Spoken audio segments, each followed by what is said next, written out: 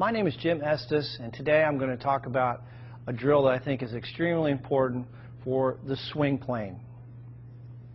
So what I want you to do is, and this, by the way, is going to give you an instant understanding of exactly the feeling you want to have in the golf swing. Take a club, you can put a rod, alignment rod in the grip, or I'm sorry, in the butt end of the golf club. Take the golf club, turn it like you're going to hold it, and then what I want you to do is take that club, put it right against your left hip, so you're holding both clubs here. Now you've got an alignment rod on the ground and a golf ball. And what I want you to do, getting into your good posture position, your weight over the arches, getting feel balanced. The insides of the heels are going to be about the width of your hips. Take a swing back, slow motion, and trace with that alignment rod the target line all the way up. The shaft should be parallel to your target line at the top, and then slowly coming down, trace the line. And do this in slow motion. Right into the impact position. So this is a great feedback tool, visual feedback tool for learning the proper swing plane. Go right to your impact position. I encourage you to do this drill in slow motion. And if you have five minutes a day, if you do this drill every day, I guarantee you you're going to improve your golf swing. So again, I think you'll find this to be extremely helpful. JimEstesGolf.com if you have any questions.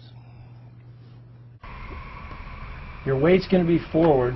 You're going to lean the shaft just a little bit for a low shot.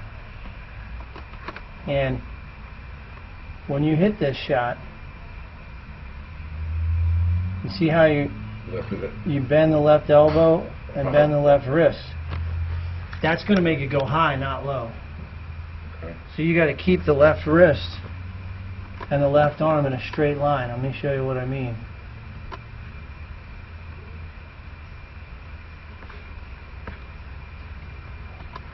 All right, watch the chip. Now his feet are close together. Now watch coming through. See how the shaft and the left arm are in a straight line there.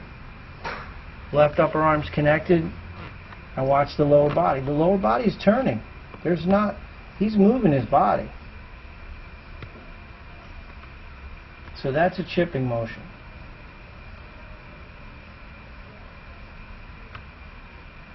Now how far is he hitting that? Probably 10 yards, 12 yards.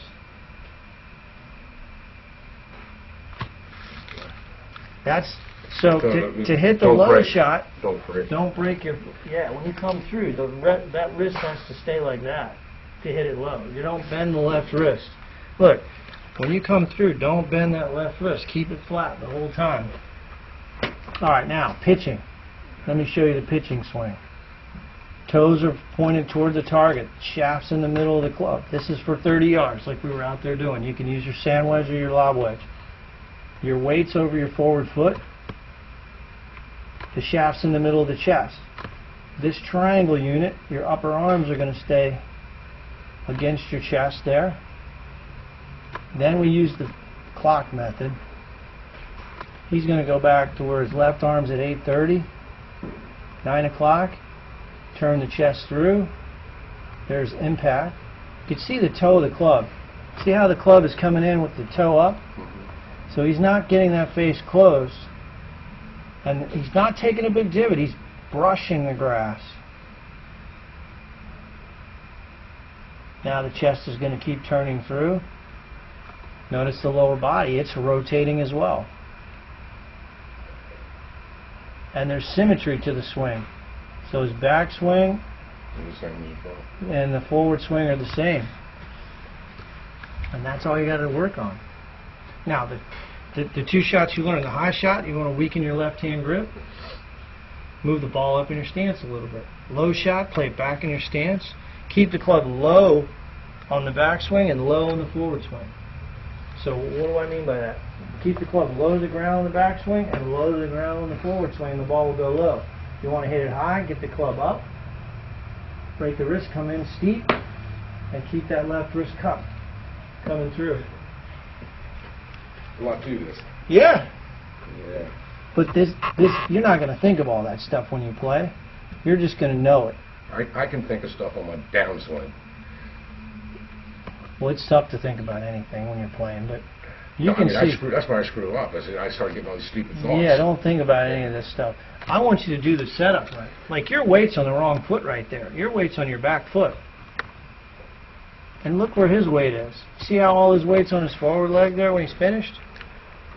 All his weight is, you should have 90% of your weight on your front foot.